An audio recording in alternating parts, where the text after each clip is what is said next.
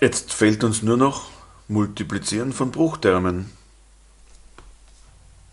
Also zum Beispiel 18xy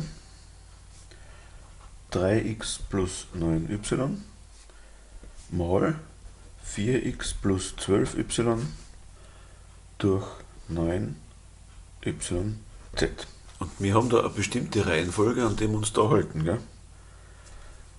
Erstens herausheben, zweitens kürzen, drittens multiplizieren.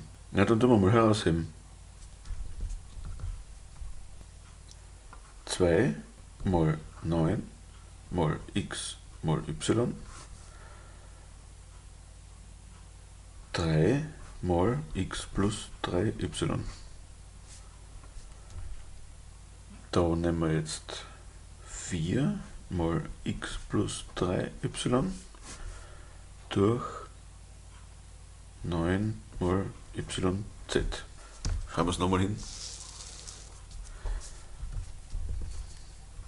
Der lange Bruchstrich. 2 mal 9 mal x mal y mal 4 mal x plus 3y.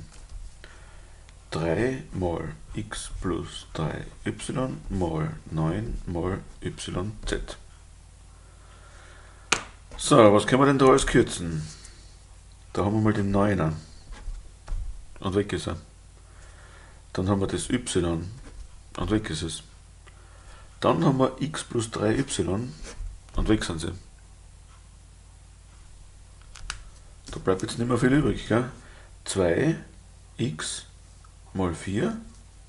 Das sind also 8x. 3z. Fertig. Definitionsmenge. Die reellen Zahlen ohne die Null.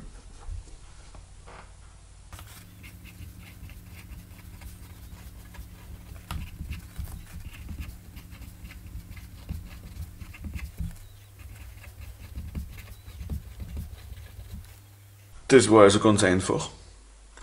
Und man könnte es so hinschreiben, a durch b mal c durch d ist nichts anderes als wir a mal c durch b mal d.